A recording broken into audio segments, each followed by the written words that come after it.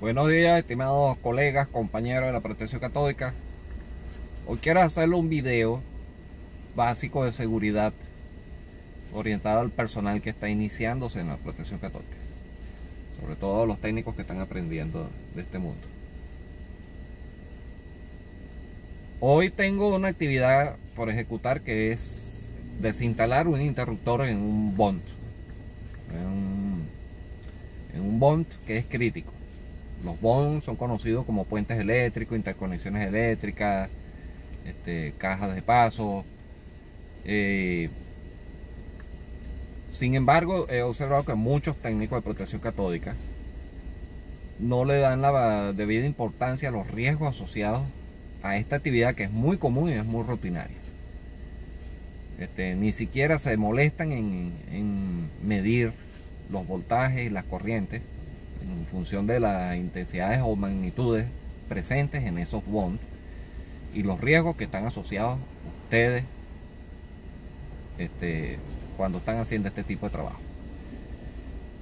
Eh, hay dos fenómenos o dos riesgos asociados a, a cuando estamos manipulando estos tipos de puentes eléctricos que son potenciales de toque y potenciales de paso. Son potenciales que pueden ser supremamente riesgoso para nosotros y podremos recibir descargas eléctricas que podrían ser hasta fatales. Tengo que eh, hacerles definiciones también de algunos términos.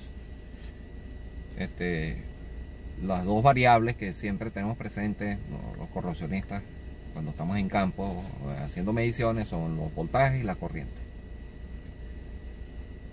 y debemos determinar si hay niveles que puedan afectar nuestra seguridad. Cuando estoy hablando de nuestra seguridad es nuestra vida, nuestra familia, nuestros hijos. Y mi propósito de este video es que ustedes ven por su seguridad. Busquen un espejo, véanse por 5 minutos fijamente en ese espejo y ustedes verán que los únicos responsables de su seguridad son ustedes mismos. Más nadie eh, eh, va a garantizar su vida. Ustedes mismos son los que tienen que garantizar su vida. Por lo tanto, deben hacer las mediciones pertinentes, correspondientes, obligatorias, que son mandatorias para que ustedes determinen si están bajo riesgo. Evidentemente, hay unos implementos de seguridad obligatorios para ejecutar este tipo de trabajo, como son botas que tengan resistencia dieléctrica, que tengan cierta capacidad dieléctrica, guantes dieléctricos, este, y otros tips que les quiero dar desde, el punto de vista de seguridad. Sin embargo, cuando les estoy hablando de potencial de toque o potencial de paso, ¿a qué me refiero yo con eso? Déjenme explicar con una imagen que tengo en la computadora. Acá les estoy mostrando un ejemplo de, de lo que es potencial de toque y este es un potencial de paso potencial de paso es el potencial, el voltaje que puede penetrar por nuestros zapatos, por nuestros pies y evidentemente entrarían voltaje y tienen que retornar a, su origen. En este ejemplo, ustedes pueden ver esto es un, este es un test point o un poste de medición en este momento, en este ejemplo, no necesariamente esto es un, este, directamente proporcional. Pero en este ejemplo, ese test point o punto de medición o progresiva tiene 10 kilovoltios. Cuando una persona toca, está haciendo una medición de potenciales y está haciendo contacto físico con el poste, puede recibir una descarga de 2 kilovoltios. Estamos hablando de 2000 voltios.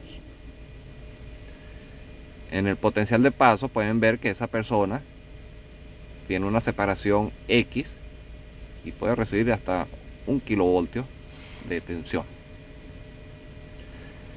¿Dónde se ve este, dónde se ven este, este tipo de casos? ¿O dónde ocurren este tipo de casos? Acá se pueden ver un ejemplo de líneas de alta tensión, líneas de transmisión eléctrica, en donde generan campos electromagnéticos que son capaces de inducir voltaje y corriente en las tuberías enterradas, en los gasoductos. Cuando tengamos este tipo de situaciones, que tengamos líneas en paralelo con las tuberías, gasoductos, oleoductos, debemos prestar especial atención bajo estos escenarios. Como les comenté, los potenciales de paso se ven, este es un ejemplo de un potencial de toque, una tubería que sale bien enterrada y sale aérea y, una persona la está tocando. El potencial de paso es, el, no está haciendo contacto físico directo con la tubería, pero esta separación de los pies genera gradientes de potenciales en donde acá va a haber un menor gradiente y acá un mayor gradiente. Esta diferencia de gradientes potenciales puede generar descargas eléctricas también en el, ser humano. Esto es una otro ejemplo de una imagen de, de, lo que es potencial de toque y de potencial de paso. Recuerden que aquí les mostré este, un ejemplo de los voltajes, pero realmente los voltajes no son eh, no es el peligro para nosotros. Evidentemente, pues para que haya un flujo de corriente, el voltaje necesita vencer la resistencia del sistema, porque nuestro cuerpo no es un conductor ideal y por lo tanto pues debe haber un voltaje significativo. Pero realmente lo que representa un riesgo potencial para nosotros es la corriente presente en la tubería. Esa corriente Buscar acá la tabla de las corrientes. 174, si no. Buscar acá.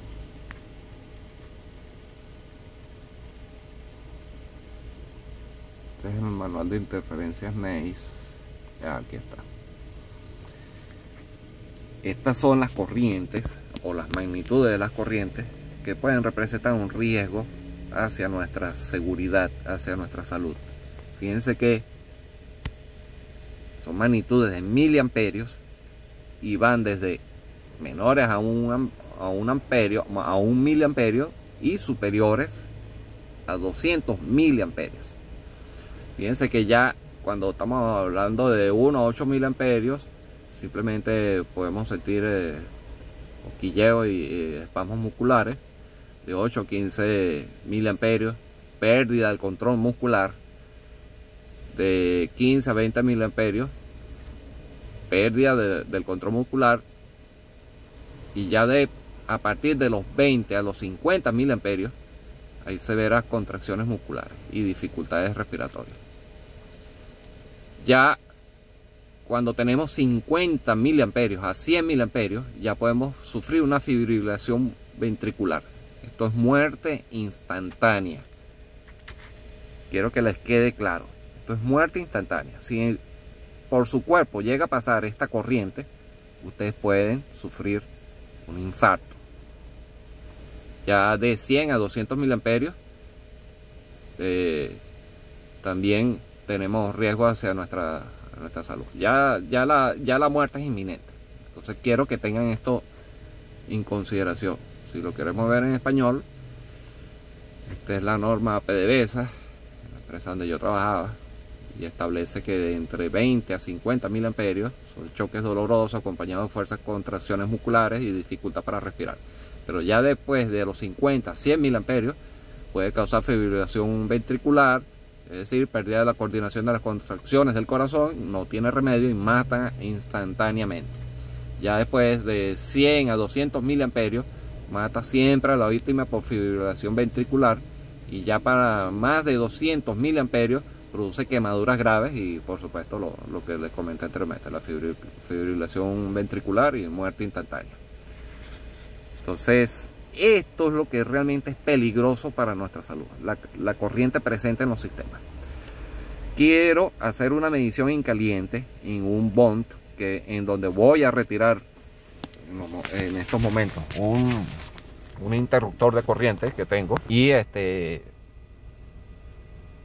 pero voy a hacer las mediciones necesarias para verificar si tengo riesgo hacia mi salud. Sin embargo, tengo la, este, mis indumentarias de seguridad pertinentes, botas dieléctricas y mis guantes para trabajar en esta zona. Fíjense que en este momento es un corredor de tubería donde hay línea de transmisión en paralelo. Este, podrán ver que pareciera que la nieve se está derritiendo y en el borde, allá en el borde pareciera que estuviese sucia. No es que esté sucia, eso es que tiene acá en zonas donde hay tormenta de nieve, aplican sal, riegan sal en las carreteras para que se derrita la nieve, para ofrecer seguridad al personal, a los conductores. Sin embargo, esa sal presente en, esta, en la nieve, pues pasa a ser altamente conductora, porque son cloruros presentes en el medio ambiente electrolítico y por lo tanto son conductoras de corriente. Por lo tanto, este, ahorita pareciera que estuviese derritiéndose, pero estoy a 28 grados Fahrenheit. Eso aquí, eso más o menos es como menos 2 grados centígrados. Eh, a esa temperatura no se derrita la nieve. Simplemente es la sal presente que este, está derritiendo esa nieve. Hay una, normalmente la resistividad de esta zona, el promedio, está entre los 3000, 5000 ohmios centímetros. Este, la nieve lo puede elevar a 700.000 ohmios, es decir, eleva la resistencia del circuito pero con presencia de sales eso cambia significativamente. Ahora me voy a dirigir a un bond para que veamos cuáles son las mediciones que debo ejecutar y cuáles son las medidas de precaución que debo tomar. Entonces, tengo que, ahorita el clima está terrible, vamos vamos a protegernos un poco del frío. Porque este, este, frío también está un poquito insoportable. Déjenme quitarme estos lentes que me van a, me van a molestar porque el brillo del sol con la nieve pues molesta un poquito más. Voy a usar lentes que me protejan del sol. Y este continuamos con la explicación respecto a las medidas de seguridad que ustedes deben de tomar. Ponernos mis lentes. Por supuesto, casco de seguridad. Ah, ahora sí, vámonos. Tengo mis guantes. Mis guantes de protección.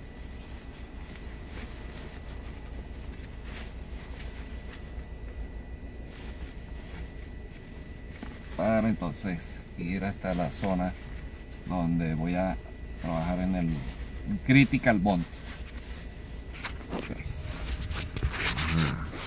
Voy a pasar una vía este, un poquito de paciencia. Va a haber un poquito de ruido también de fondo pero espero que este mensaje les llegue a todos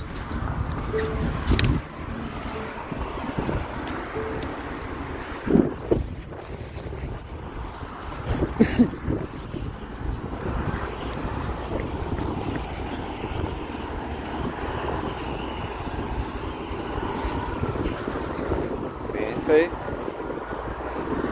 tengo presencia de sales ocultas en la nieve,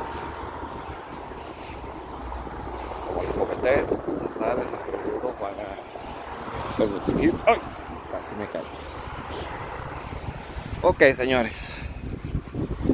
Ahorita voy a verificar qué voltajes tengo presentes en el sistema. Ahorita tengo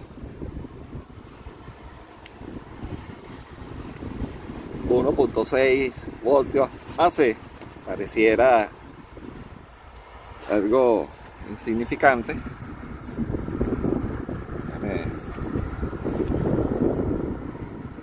Verificar que se vea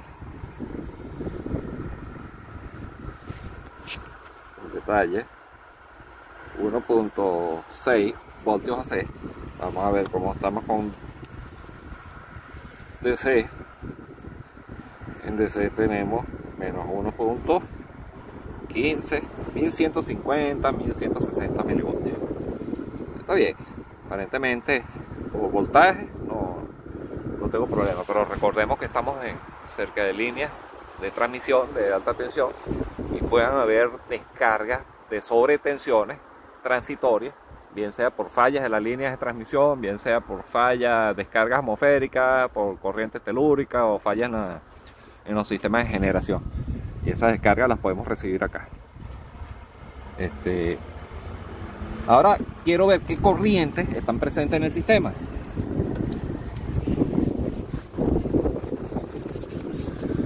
Vamos a ver qué corriente. Ahorita lo tengo en frío. No se ve, no se ve muy claro la frío de la bueno, sí se ve. Vamos a ver qué corriente tenemos ahorita en alterno. Ahorita tengo 9.5 voltios AC, eh, corriente AC, amperios. 9.4 amperios. Esto es igual a decir 9000 miliamperios. Recordemos que a partir de 50 miliamperios, en la tabla que les mostré de los corrientes peligrosas para nuestra seguridad, a partir de los 50 ah, hasta los 200 miliamperios, podemos recibir eh, muerte instantánea. Aquí tenemos 9000 miliamperios. Quiere decir que estoy bajo riesgo de descarga con este tipo de corriente. Veamos cómo estamos con corrientes DC, la magnitud. En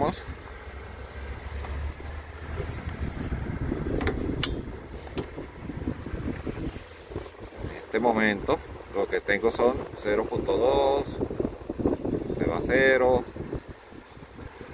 casi que ni tenemos corrientes DC en magnitud. Pero tengo una línea vecina, vamos a verificar esa línea vecina, tampoco está descargando corrientes de C peligrosas para nuestra salud. Pero cuando vuelvo a interrogar en alterna, vamos a chequear otra vez, 9 amperios, 9000 miliamperios, y esta también está drenando 9.3 amperios, 9300 miliamperios. Entonces, en total, si sumo esta corriente con esta, serían, eh, perdón, es un puente eléctrico. Son 9 amperios que están circulando en el sistema. Entonces, señores, estas son las mediciones que ustedes deben verificar porque en este momento yo voy a desconectar, eh, ya lo desconecté.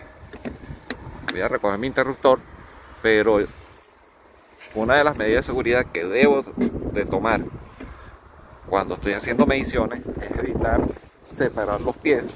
los tengo que mantener juntos. Tengo que mantener mis pies juntos. Debo evitar tenerlos separados de esta manera porque esto generaría un diferencial entre este pie entre este pie y el otro.